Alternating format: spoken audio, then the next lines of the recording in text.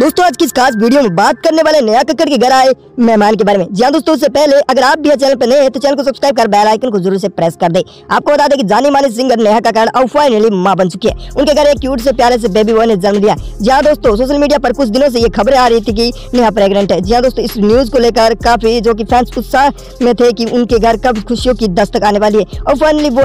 घड़ी जो की अब खत्म हो चुकी है उनके घर एक प्यारे से बेबी बॉय ने जन्म ले लिया इसकी जानकारी इंस्टाग्राम अकाउंट के जरिए नेहा कक्कर ने एक वीडियो शेयर कर दी है अपने फैंस के साथ शेयर की है आपको बता दें कि आप भी नेहा कक्कर और रोहनप्रीत के फैन हैं तो कॉन्ग्रेचुलेसन कमेंट बॉक्स में लिखना ना भूलें और हमारे चैनल को सब्सक्राइब जरूर से कर लें ऐसी तमाम अपडेट्स की जानकारी इसी चैनल पर आप लोगों को मिलती रहेगी धन्यवाद दोस्तों